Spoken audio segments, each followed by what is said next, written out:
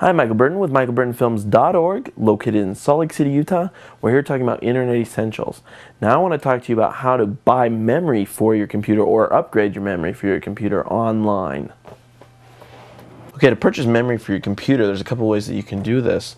Uh, one, uh, you could buy it online, or the other is you could uh, go into a store and purchase the memory.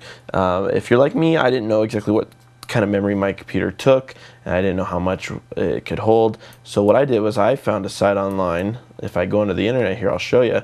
Uh, it's called Crucial.com. I'm sure there's many other sites that do this. Uh, and also if you go into a store, someone could probably tell you as well. But what Crucial.com does is it scans your computer and it'll tell you what kind of memory upgrades you can handle and what kind of, what product you need to get. So this is Crucial.com. They also sell these products. So uh, right here in the center of the page says scan my computer or scan my system. So we're going to click on this.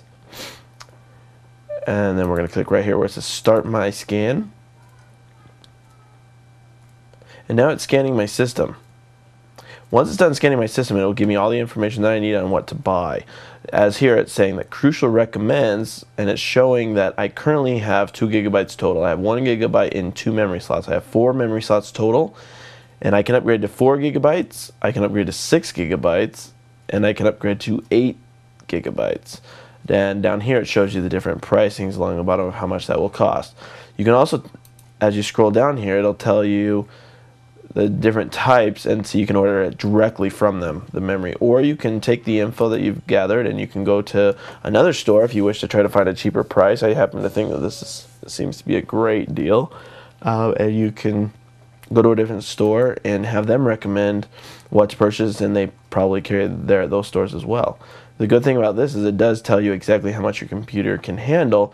Now it also says on here that it doesn't necessarily mean that it can handle the the total amount converted. So you need to check with your uh, local store on that or email Crucial and ask them if, if your computer system can handle the max upgrade or if it'll even do anything for you.